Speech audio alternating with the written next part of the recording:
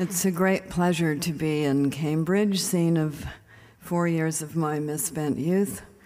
Uh, when I lived more or less right around the corner from here for the first two years on the Appian Way, and then I lived kind of down the street on Massachusetts Avenue. Uh, and I kind of like to set disaster novels more or less here. So, if you walk the walk of the Handmaid's Tale, you can pretty much identify all of the buildings in it. You'll be happy to know that the Brattle Theater is where they go to get their costumes, and that Widener Library is where the Secret Service will be hanging out in that particular future. Whereas in Oryx and Crake, you can see some, some of the more fervent members of the Gods Gardeners uh, tossing coffee into the harbor at the Boston Coffee party. Uh, and this area is particularly available for the future of Oryx and Crake because it's, it's sort of flat, so that when the sea rises, everything is going to move inland, uh, as it has done in, in the futures, uh, the future of these two books. The Year of the Flood is not a um, sequel and it's not a prequel, it is what I call a simultaneal. It takes place at, at the same time as Oryx and Crake, but in a different part of the landscape. In the Victorian novel, there's a chapter called Meanwhile, quite frequently.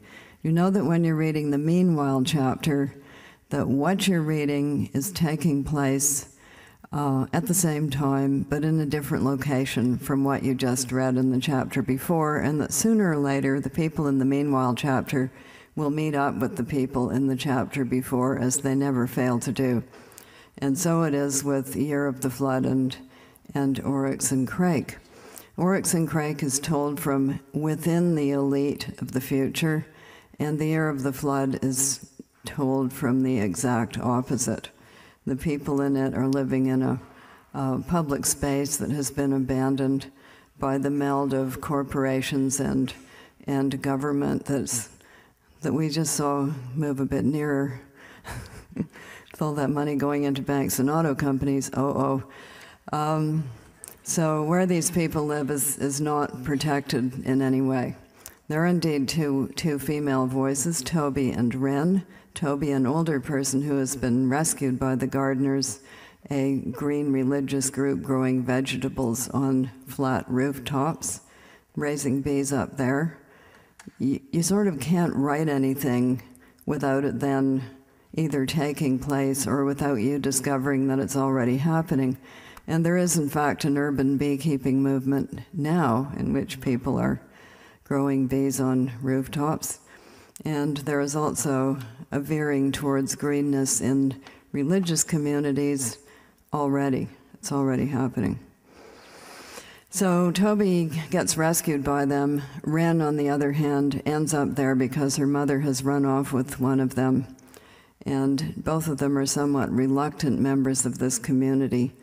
But when the novel opens, the global pandemic called the waterless flood, long foreseen by the gardeners, has swept through, and our two characters have survived it.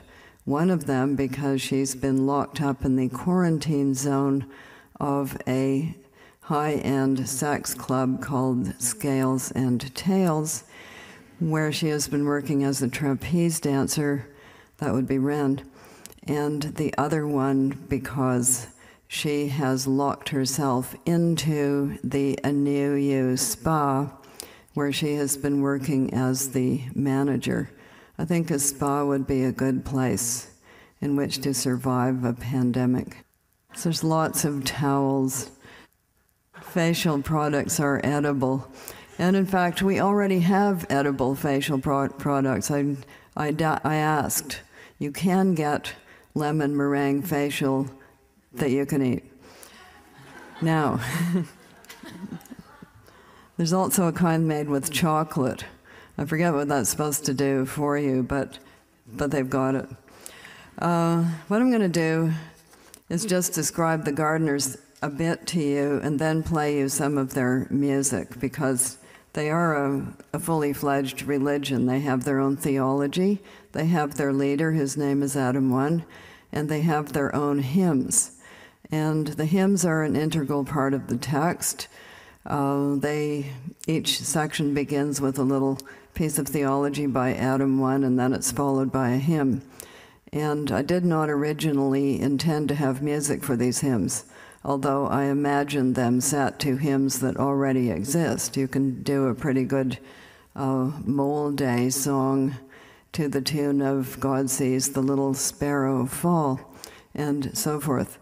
But the partner of my agent, who is a musician and composer, got into the text when it was still just in manuscript, and he started channeling these people. in fact, I think he thought he kind of became them and started composing their music. And he sent me some of the first ones he did, so I said, just keep going as long as you feel like it. And he kept going through all 14 of the God's Gardener hymns. And then he put them on a CD. And then we put them on a website at www.yearoftheflood.com. And then we incorporated them into some of the fully fledged dog and pony uh, three actors singing group musical events that we have been doing to basically save the albatross. So that's how they got music. And I'm going to start by playing you three of the God's Gardeners hymns as composed by Orville. They are uh, rather peppy ones. Not all of them are quite this peppy, but they are for the following uh, gardeners' days. Um, they're for, uh, I think it's Creation Day, for the Festival of Arks and for St. Euell of Wild Foods. That would be Euell Gibbons. There are some other saints in this book that will be well known to you. You'll be happy to know that in the future Al Gore will be a saint. He's already beaming with beams of saintliness, we feel. And E.O. Wilson is indeed a saint. He is Saint E.O. Wilson of Hymenoptera. He may not know this yet, but he's going to know it tomorrow because I just gave him a book with the pages marked. The Mole Day hymn is particularly appropriate for him. Uh, so after the hymns, I will read a sample from each of the three voices, concluding with Adam 1, who will I'll give you the, a bit of the Mole Day speech, and then I personally will sing you the Mole Day hymn, which is the only one I can sing. It is a children's hymn and kind of simple. So, so that's the program. And now we're going to hear the first three hymns. So that's a little sample of the gardeners and their music. And now we're going to join Toby in year 25. It's Saint Bashir Alouse Day. You may never heard of him. He is actually quite a saintly person because he was the inspiration for the the Iraqi Bird Book, developed under fire, but it's out now. Toby, she's in the AnooYoo spa. She takes her baths in the early morning before the sun's too hot. She keeps a number of pails and bowls up on the rooftop for collecting the afternoon storm rainwater the spa has its own well, but the solar system's broken, so the pumps are useless. She does the laundry on the rooftop too, spreading it out on the benches to dry. She uses the gray water to flush her toilet. She rubs herself with soap. There's still a lot of soap, all of it pink, and sponges off. My body is shrinking, she thinks. I'm puckering. I'm dwindling. Soon I'll be nothing but a hangnail though she's always been on the skinny side. Oh, Tobiatha, the ladies used to say, if only I had your figure. She dries herself off, slips on a pink smock. This one says melody. There's no need to label herself now that nobody's left to read the labels, so she's begun wearing the smocks of the others Anita, Quintana, Ren, Carmel, Symphony. Those girls had been so cheerful, so hopeful. Not Ren, though. Ren had been sad, but Ren had left earlier. Then all of them had left once the trouble hit. They'd gone home to be with their families, believing love could save them. You go ahead, I'll lock up, Toby had told them. And she had locked up, but with herself inside. She scrubs her long dark hair, twists it into a wet bun. She really must cut it. It's thick and too hot. As she's drying her hair, she hears an odd sound. She goes cautiously to the rooftop railing. Three huge pigs are nosing around the swimming pool, two sows and a boar. The morning light shines on their plump, pinky gray forms. They glisten like wrestlers. They seem too large and bulbous to be normal. She spotted pigs like this before in the meadow, but they've never come this close. Escapees they must be from some experimental farm or other. Toby follows the railing, tracking them. They've found the garden fence. They're looking in. Then one of them begins to dig. They'll tunnel under. Get away from there, Toby shouts at them. They peer up at her, dismiss her. She scrambles down the stairs as fast as she can without slipping. Idiot. She should keep the rifle with her at all times. She grabs it from her bedside, hurries back up to the roof. She holds one of the pigs in the scope, a boar, an easy shot, he's sideways, but then she hesitates. They're God's creatures, never kill without just cause, said Adam 1. I'm warning you, she yells. Amazingly, they seem to understand her. They must have seen a weapon before. They squeal in alarm, then turn and run. They're a quarter of the way across the meadow when it occurs to her they'll be back. They'll dig under at night and root up her garden in no time flat, and that will be the end of her long term food supply. She'll have to shoot them. It's self defense. She squeezes off her round, misses, tries again. The boar falls down. The two sows keep running. Only when they've reached the forest rim do they turn and look back. Then they meld with the foliage and are gone. Toby's hands are shaking. You've snuffed a life, she tells herself. You've acted rashly and from anger. You ought to feel guilty.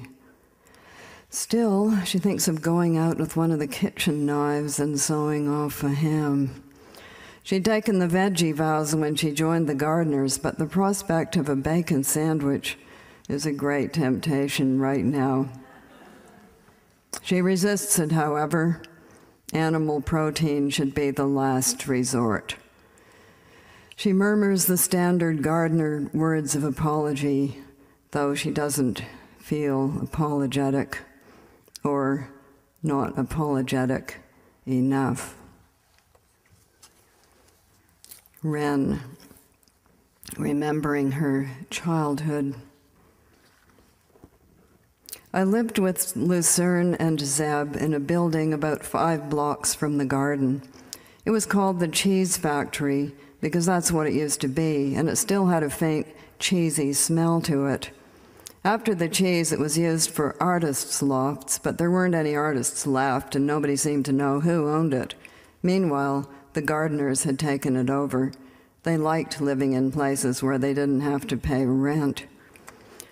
Our space was a big room with some cubicles curtained off, one for me, one for Lucerne and Zeb, one for the Violet Biolet, one for the shower.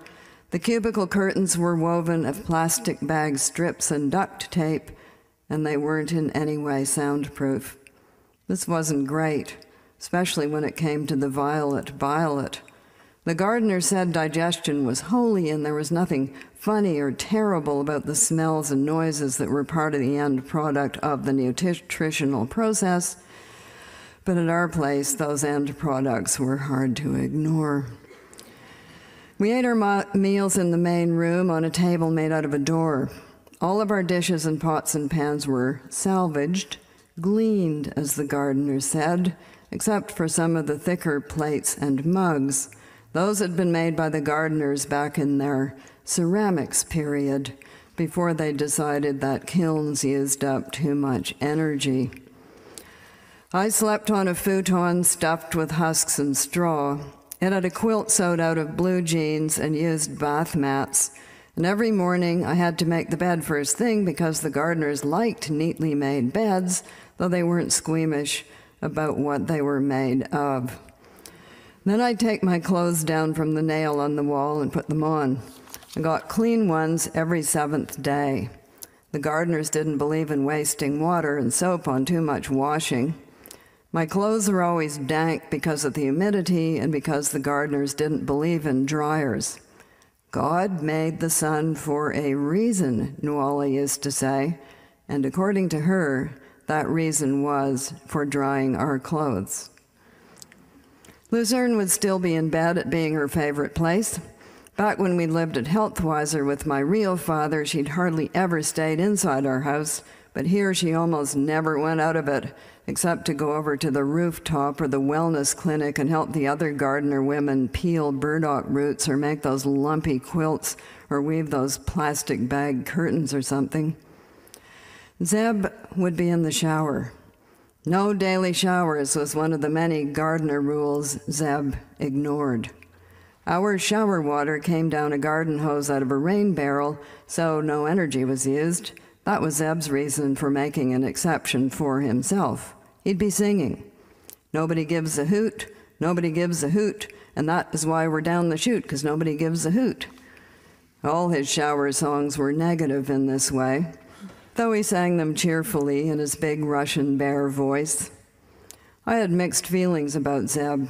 He could be frightening but also it was reassuring to have someone so important in my family. Zeb was an Adam, a leading Adam. You could tell by the way the others looked up to him. He was large and solid, with a biker's beard and long hair, brown with a little gray in it, and a leathery face and eyebrows like a barbed wire fence. He looked as if he ought to have a silver tooth and a tattoo, but he didn't. He was strong as a bouncer, and he had the same menacing but genial expression as if he'd break your neck if necessary, but not for fun. Sometimes he'd play dominoes with me. The gardeners were skimpy on toys. Nature is our playground. And the only toys they approved of were sewed out of leftover fabric or knitted with saved up string, or they'd be wrinkly old person figures with heads fashioned from dried crab apples. But they allowed dominoes because they carved the sets themselves. When I won, Zeb would laugh and say, Atta girl, and then I'd get a warm feeling like nasturtiums. Lucerne was always telling me to be nice to him because although he wasn't my real father, he was like my real father, and it hurt his feelings if I was rude to him.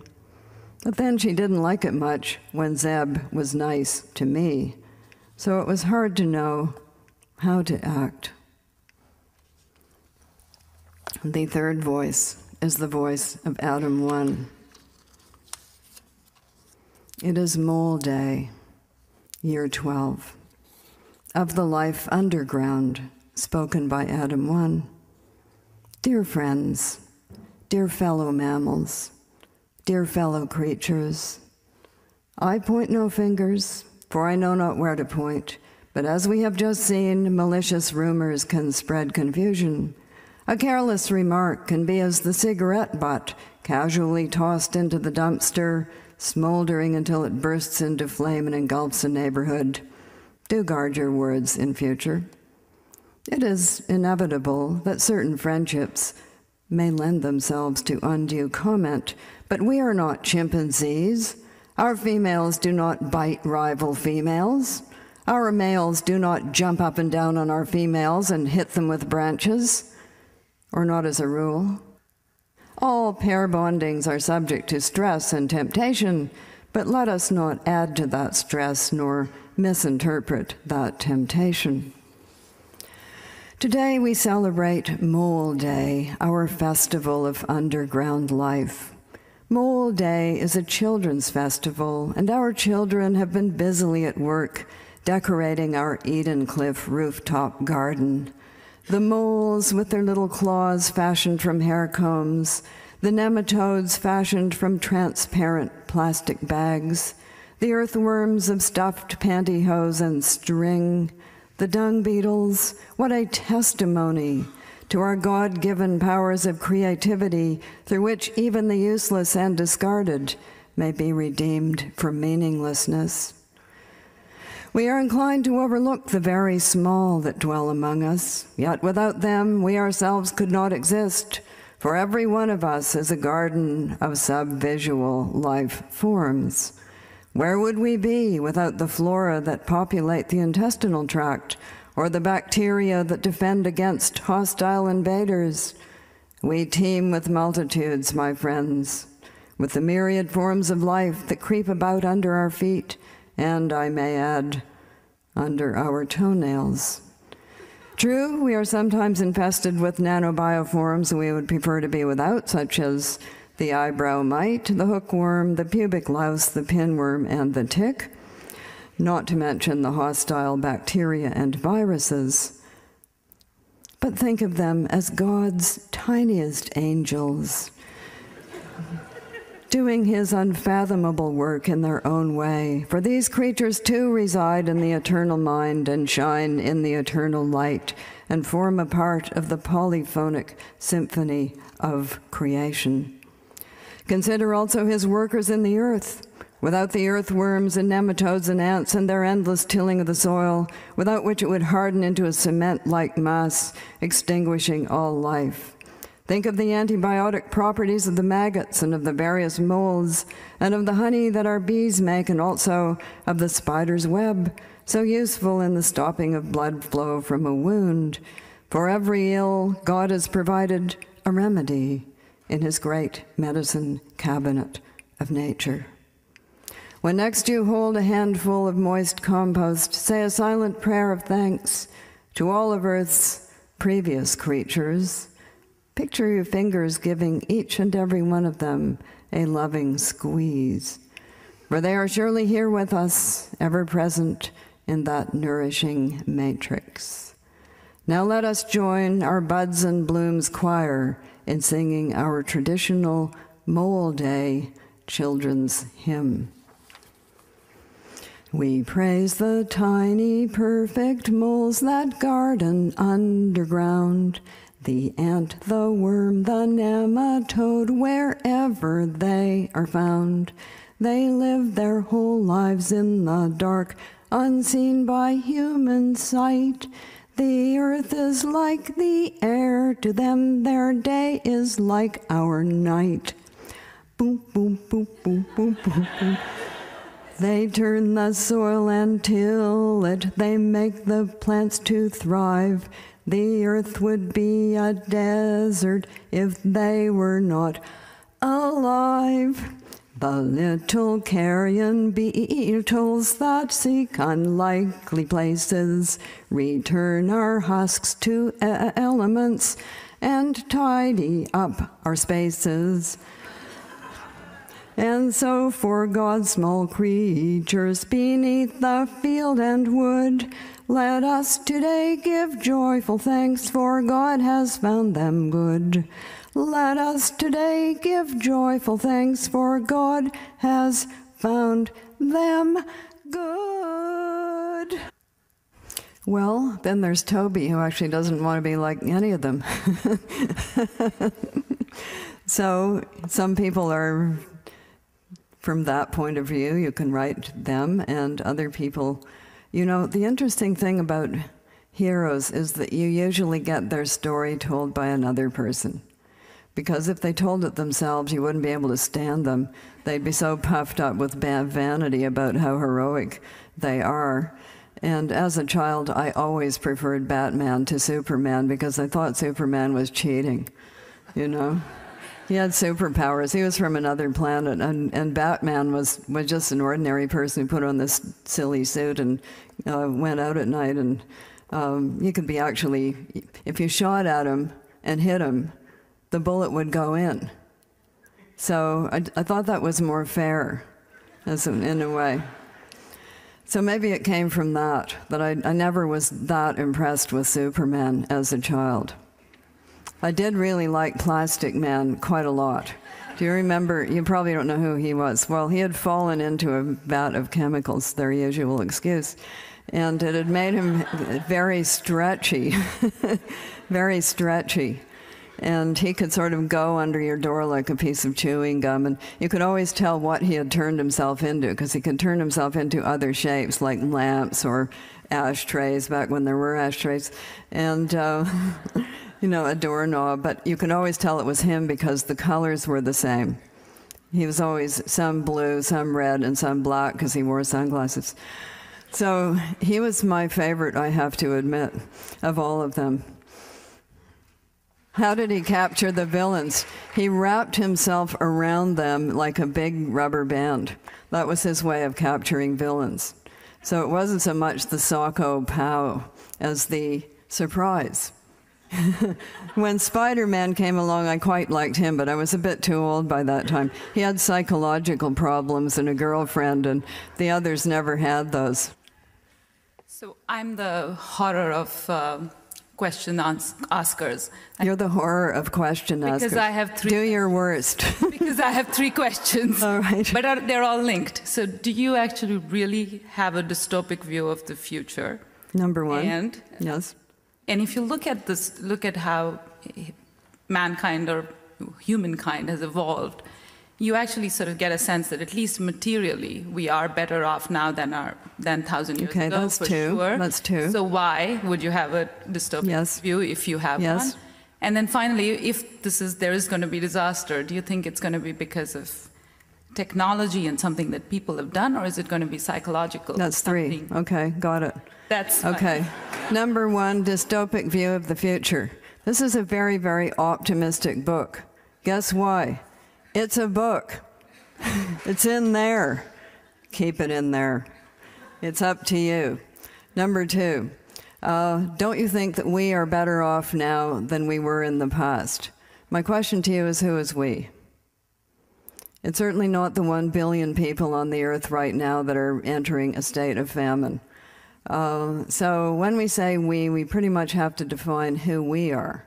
Do we mean we in this building? Yes, we are doing pretty well here. It's very nice. It's not raining. Um, you all had dinner, or you will have it. That's really good. Uh, but that's a very small we. The uh, world in general is not quite that well off, and what people are really worrying about people who do that kind of thinking all the time, what they're worrying about is the food supply. Because we, as a whole, um, are running out of arable land. We're certainly running out of fish in the ocean, which is why in Oryx and Crake Jimmy has fish, fish fingers 20% real fish, and you wonder what the other 80% is made of. Um, so, so, sure, we in this room are better off. The world is not and it's certainly in a it's, it's in a much um, it's in a much more falling apart state than it was even 100 years ago. Let me present you with this small little puzzle. See if you can guess the answer. Oh. You have a test tube, it's full of amoeba food, and into it you put one amoeba, and that amoeba, amoeba divides in half every minute. You put the amoeba in at 12 o'clock noon. We know that at 12 o'clock midnight, the test tube is entirely full of amoebas and there's no more amoeba food left. The question I have for you is at what point is the test tube half full of amoebas and half full of amoeba food? You know the answer. It's one minute to midnight. A lot of people say six o'clock because it's halfway between. Uh, but it is, in fact, at one, one, minute to midnight. Things are looking pretty good for the amoebas. They still have a whole half a test tube left. One minute later, that's it. Uh, now, your third question was. Oh, yeah. Is the dystopia going to be caused by technology or by something else? Um, first of all, it's a book. Nobody can really predict the future because there are too many variables, and one of those variables is the human race, which is now driving quite a lot about itself, and we do not know how it is going to change its behavior. We don't know that yet. Uh, we do see as we go hither and thither about the planet that people do realize they have a problem. And therefore, they're thinking very hard about that problem because we are a very creative uh, species and we are problem solvers. And a lot of people are getting the point. So, is our behavior going to change fast enough to keep this future in the book? Let's hope. Uh, the unfortunate thing is that we have just opened the biggest toy box uh, on the planet and probably in history, and that is the DNA code. And because of that, we can mix and match, just like Mr. Potato Head. Uh, we can switch things around, and we're busily at work doing that right now. So, will we use our creative powers to play with this toy box in a helpful, useful, and optimistic way, or will we instead use it to do something which we can do, which is to make unfortunate diseases to which nobody has any immunity? And let me remind you that the mortality rate shortly after Columbus set foot uh, in the New World was, in most places, 100%. And in the period of the Black Death, it was 50%. So, the biggest killer in human history has always been diseases to which people didn't have immunity, and we can make those uh, by combining our technology with natural forms that already exist. So, the answer to your question is worst case scenario, both. Lock yourself up in that spa. Edible facial products, your hope. Uh, yes. Well, thank you very much, and I'm deeply flattered. I started that book three times. And I wanted to write about my grandmother's and my mother's generations because I knew quite a lot about their about the times that they had lived through, and together they had lived through pretty much the whole um, 20th century. So I wanted to have a character that would take us through those years, which were fascinating years. But neither my mother nor my grandmother was a fitting person to be that character because they were both too nice. And uh, they just, you know, couldn't, it couldn't be them. So I started out with a female character who was, who was that age but dead. And she was being discovered through a living relative uh, via the proverbial hat box full of letters. Well, that didn't go on for long. Uh, so I had to throw out that and start again. And this time, that character was alive, and she was being discovered by two other characters a male one and a female one who were not married to each other. And the container had gotten bigger. It was now a suitcase, and it had a photograph album in it.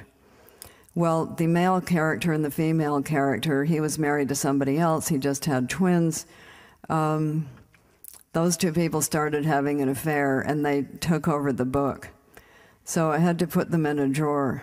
They remain in that drawer to this very day. And then that character, the third time of starting, the character began speaking for herself. And that is the Iris who is in the book today.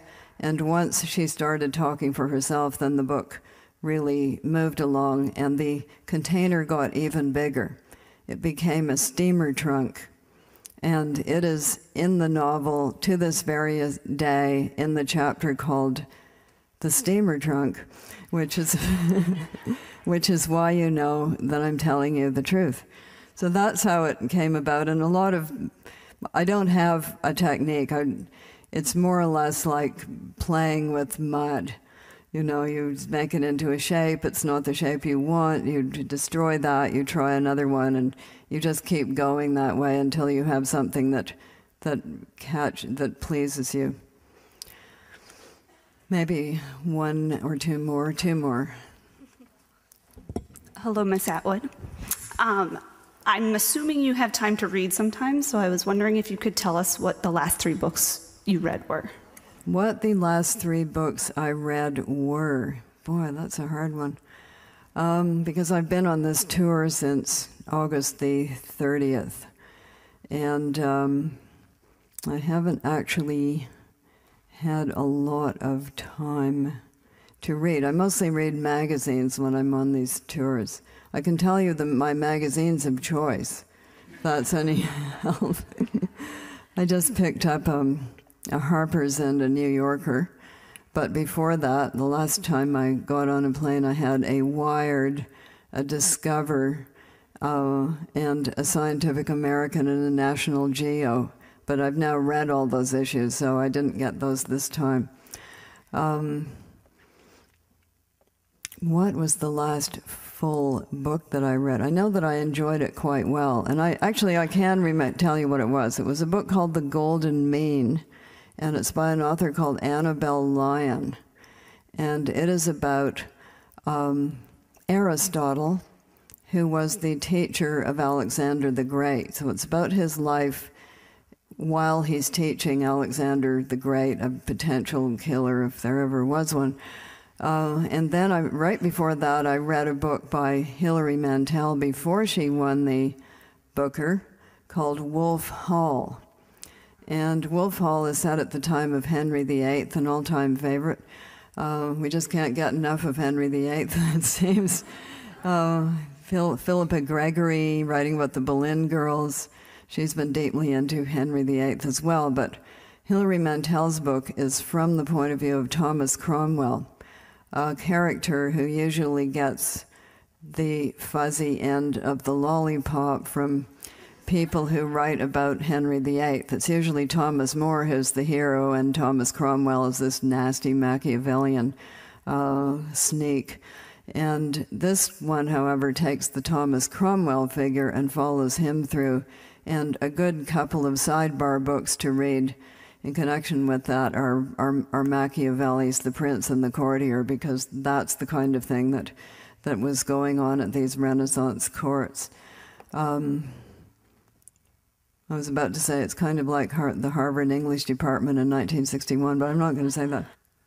Anyway, it's really good, and I've liked her work for many, many years.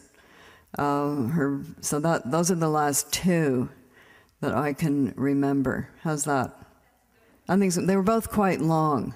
Right now, I'm reading a book called The Square Persimmon, which is by my Japanese publisher, and it is who is also a writer, and it's a collection of short stories. And I've just gotten into that, and it's pretty interesting, too.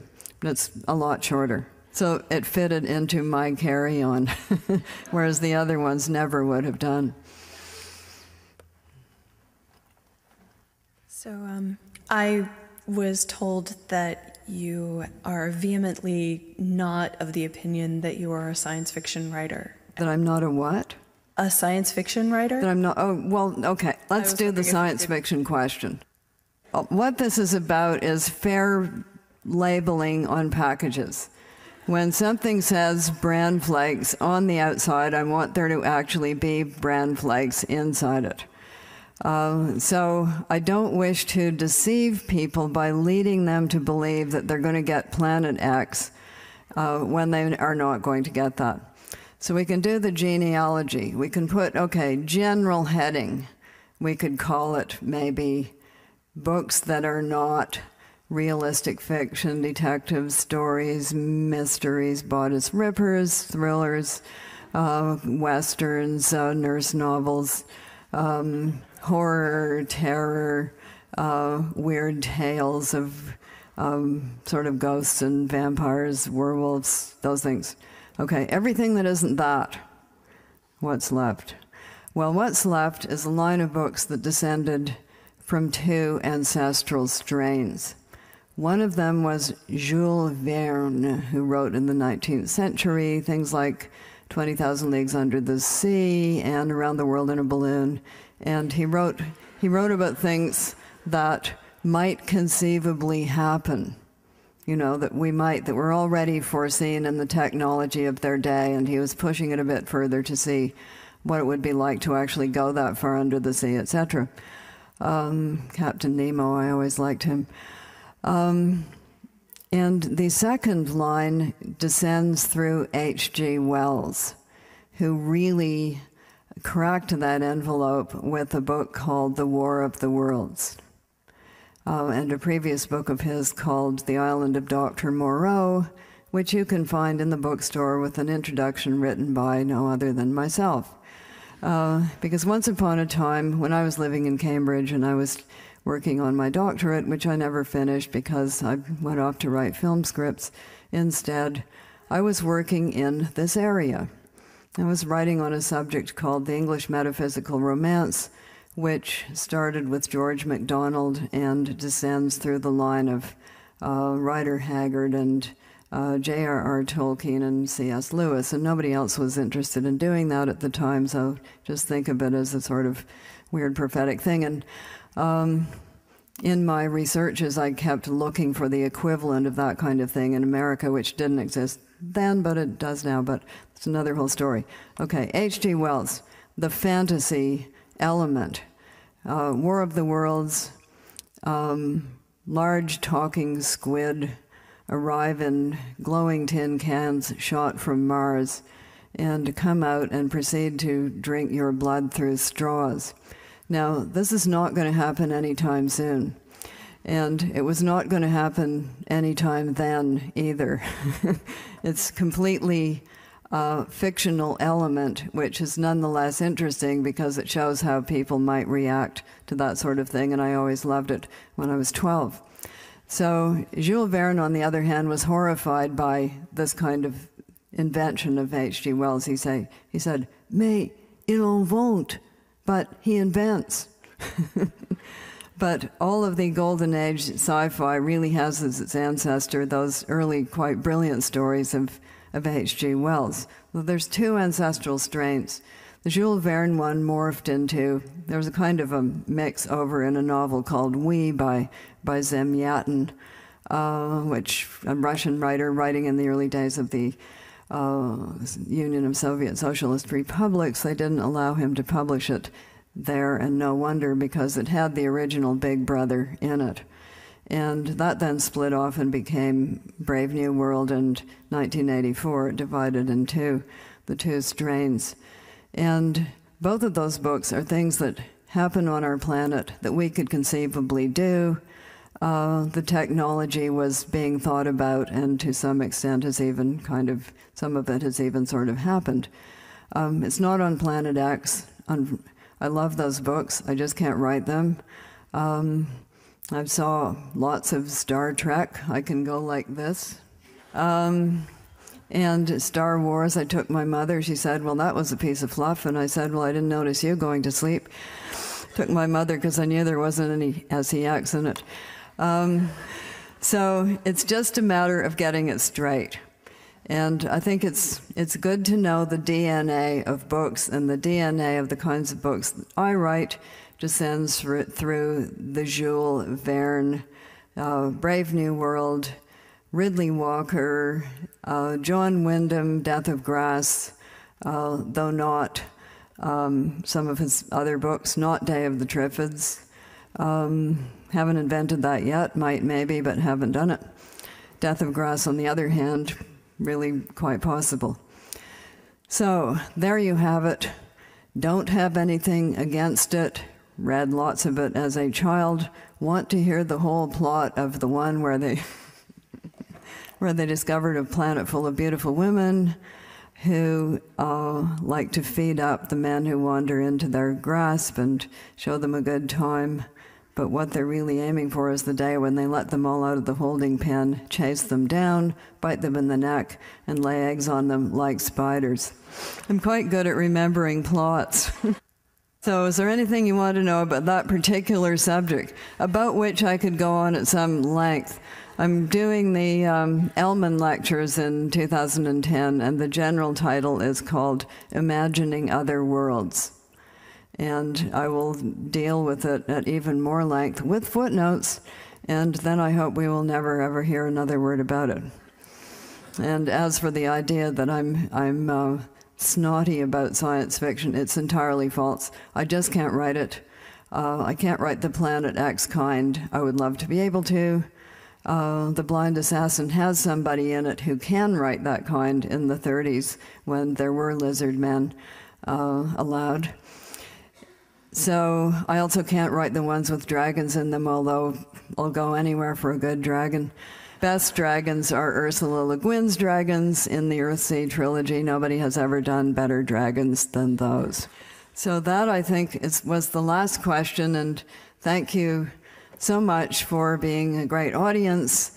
And I hope you will all now take the following pledge. Would you put your hands on your heart, please? I promise never to drink anything but shade grown organic coffee because the other kind is a big killer of migratory songbirds. Thank you. Yes. Hands in the air. Yes, yes, yes. Thank you, thank you, thank you. Yes, thank you.